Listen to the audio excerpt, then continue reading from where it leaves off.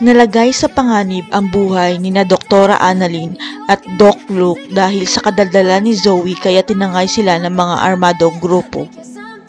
Ngunit nang makarating na sila sa hideout ng mga armadong grupo, natuklasan nila na may dahilan pala kaya dinukot sila ng mga armado. Nagpakilala sa kanila ang anak ng leader ng mga bandido na si Risa at humihingi siya ng tulong na operahan ng tatlo ang tatay niya.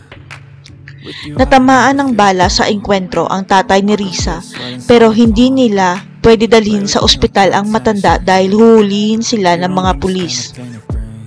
Kaya dinukot na lang nila ang mga doktor sa medical mission dahil desperado na sila maoperahan ang pinaka-leader ng kanilang grupo.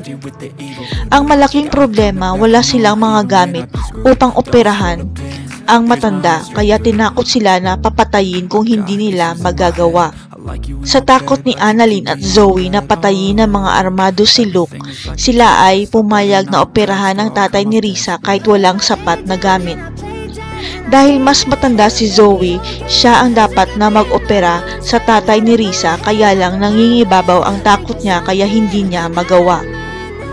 Kaya sinaktan si Zoe ng bandido at binantaan na papatayin dahil wala siyang silbi kaya si Annalyn ang umako na mag-oopera sa leader.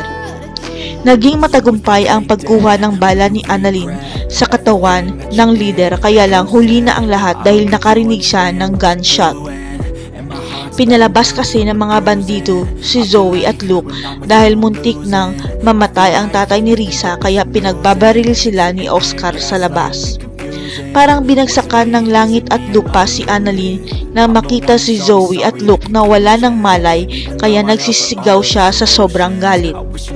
Hindi magtatagal matutunton ng mga kapulisan ang hideout ng mga bandido at maliligtas nila ang mga doktor lalong-lalo na si Annalyn.